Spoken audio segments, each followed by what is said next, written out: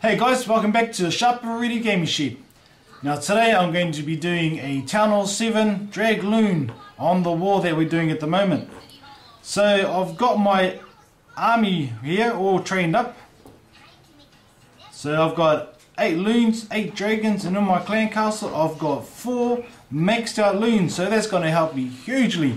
And I'd imagine, thank you very much Nepia, too much break, awesome. Right, so I've also got my three lightning spells and my barbarian king. So in war, looking at our war at the moment, looking pretty good, 19 attacks and 48 stars. So they're just missing my attack. Here we go.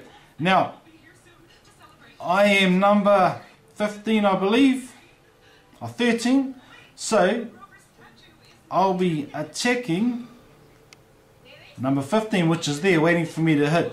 So town hall 7 have a bit of a scout. I had a look at it before I had a scout. As you go in war you look at your base at your scouting and you have a good look at the outlay of it and see what what angles you can come in from.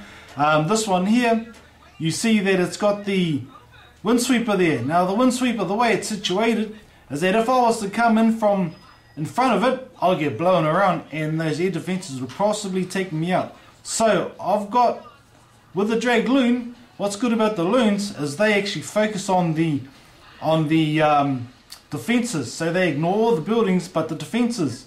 So I could almost line them up with those two air defences there from the back here, from coming in from this point here, and that'll go hopefully straight into those air defences. So long as my dragons can take out the majority of these buildings at the back here, I should be I should be pretty safe. So, my biggest worry is that CC right there. Um, that's not going to actually hit until my dragons get pretty close. So, I'm going to have to sort of juggle it around a bit there, but it's all timing. It's just a big timing game. Alright, so, should we give it a go? Again, here comes those nerves. So, nothing on the corners. Yes, I've got two, three. Okay, I've got three um, builder huts that are sitting on the corners, four of them. So all corners are covered with the builder's hut. I'm not going to have to worry about this one at the back because at the end of it, when I give my three star, my they should take care of their builder's hut there. It's these ones on the corner here, on the corners over here. These are the ones that you really have to take out first off. Alright, so let's do this. Let's attack. So check my army. You always check your army again, even though you feel if you think you've checked it before you've gone in, check it again just before you go in, because you may have donated a dragon or something um, to someone and not realise it, and suddenly you're short of a troop. Done it before. Okay, so here we go. I'm full up. I'm ready to go. I don't need anything else, just a whole lot of luck. So here we go. Let's hit this. So now, as I do before, take out that corner. Now, I'm also going to come in on an angle. Now I'm hitting five dragons down this time, and they're going to fan out. Once they fan out, and they should hopefully take out those, I need them to take out these um, defences so that I can come in with my loons. Right, so I'll put another couple of dragons on the outside. Now this is creating a funnel for me.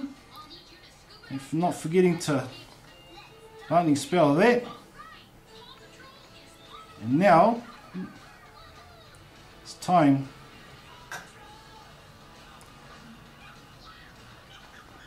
to see my balloons in. Now everything going right. I may have dropped those balloons a little bit late, but I think they're still going to make it on time. This is when the heart starts pounding a bit. So there goes those balloons into those air defences. Okay, I'm going to drop my Barbarian King on the corner. Now again, I do reckon that I dropped my balloons just a little bit too late and the reason I did that was because I went and forgot about that air defense. Well not forgot about it, um, I just did it a bit too late.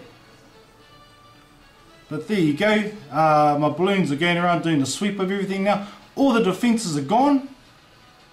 I do have this one hut out here. But uh, it's only one hut. I do have the other one sorted, and this one here is going to get got by these troops coming in this way.